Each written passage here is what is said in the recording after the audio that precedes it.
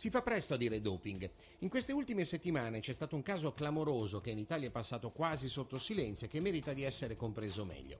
Al centro di una vicenda che ha del grottesco e anche del poco pulito è Rodrigo Souto, centrocampista brasiliano del Santos che dopo un match di Coppa Libertadores contro il San José giocato a Oruro in Bolivia viene trovato positivo al controllo antidoping.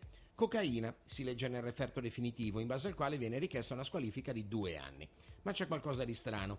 Il referto viene inviato al Santos solo via fax e il regolamento dice che deve essere spedito per posta e che solo dopo che il club lo ha ricevuto si può procedere alla sospensione del giocatore in attesa dell'eventuale squalifica. Dunque il Santos, convinto della buona fede del giocatore, effettua privatamente controanalisi specialistiche e non sospende il giocatore. La squalifica dunque arriva, ma in ritardo e come previsto di due anni. A Rodrigo Souto non resta altro che battersi, si chiude in un silenzio stampa ostinato e parla solo con avvocati e giudici.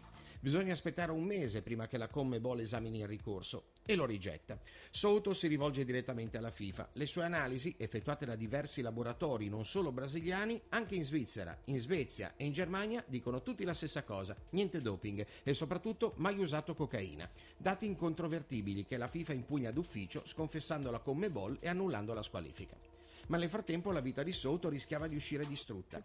I giornali mi hanno letteralmente fatto a pezzi, dice il giocatore. Scrivevano che ero drogato perché mi stavo separando da mia moglie e visto che nessuno chiedeva la mia versione dei fatti ho deciso di stare zitto e di parlare solo quando si sarebbe risolto tutto. Soto, 25 anni, non si è mai drogato, non si è mai dopato e non si sta nemmeno separando da sua moglie. Però ha subito un'ingiustizia per la quale forse non pagherà nessuno. Una carriera interrotta nel suo momento migliore per quello che ha tutta l'area di essere un complotto anche riuscito male. Ironia della sorte, in Brasile un uomo accusato d'omicidio ingiustamente è stato scarcerato con tante scuse dopo sette anni di galera e la sua notizia sui giornali era a fianco di quella della riabilitazione di Souto. C'è sempre chi sta peggio di te, filosofeggia il giocatore, ora che è tornato in campo dopo due mesi e mezzo di assenza. Ma evidentemente anche nella complessa macchina del doping c'è qualcosa di poco chiaro e che fa capire che anche chi controlla potrebbe barare.